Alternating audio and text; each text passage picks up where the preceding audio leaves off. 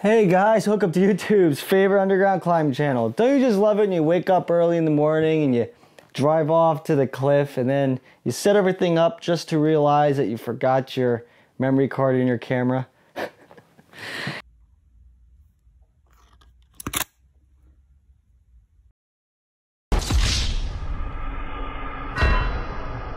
But don't worry about me, I still had a great day climbing, and I realized I have some climbing mail to answer. So, uh, what is the best material to use for a Prusik?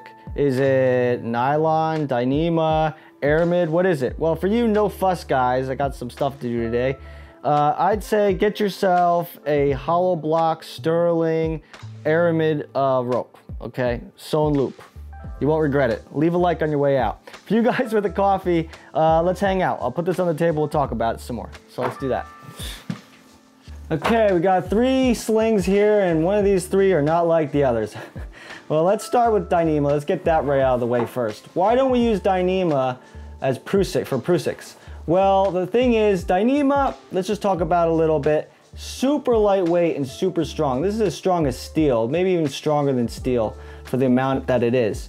Okay, so we use this for anchors a lot because it's super light, super strong, uh, strong stuff. However, the melting point of one of these is around like 200 degrees or something, which is definitely obtainable we're talking about rappelling with, with this material down, down a line or something.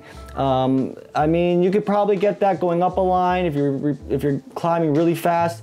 So we really tend not to use that. Besides that, it's it's pretty slippery. People say it's a pretty slippery material. If you wanted to haul one of your friends up and this potentially slips, you're gonna end up hurting that person and it's not very fun. So we don't use Dyneema at all for Prusiks. We try not to anyway.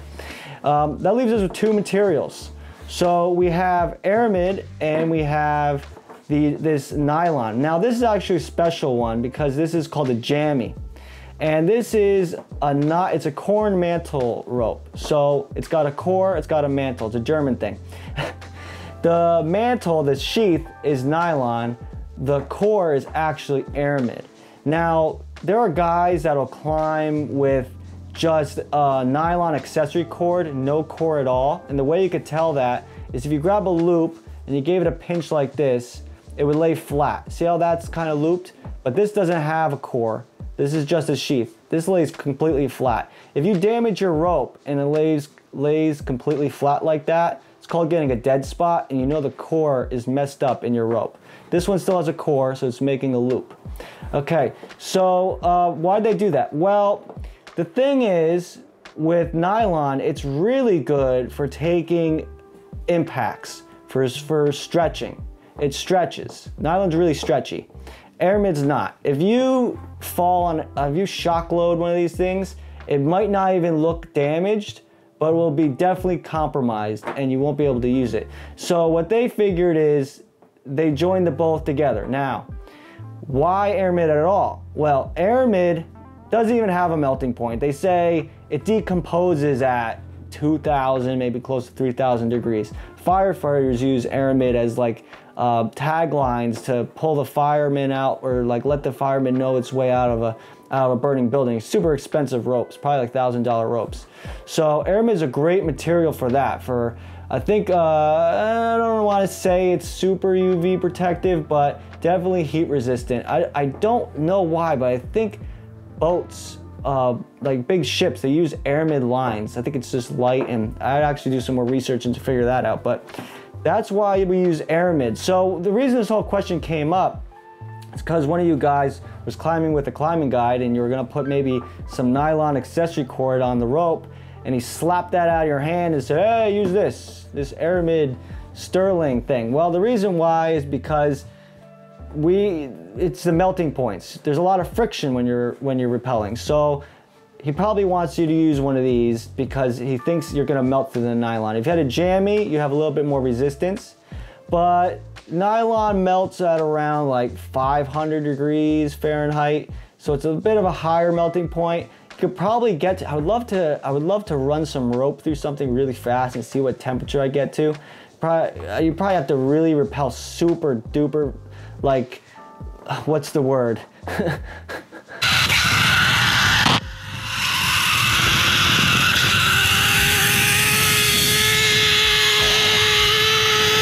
irresponsibly fast. You have to be rappelling irresponsibly fast to like really do some damage. You probably should rappel pretty slow, but uh, that's why. So nylon's still good. The reason they had they mix these two up is because we get the best of both worlds. We get the stretchiness uh, if we need if we get into some kind of shock scenario, and we also get the heat resistance in case we melt through something.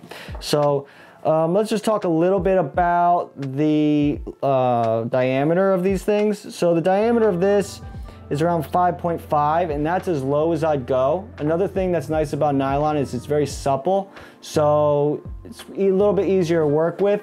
This is around 6.8 millimeters and you don't want a Prusik that's like maybe anything over seven.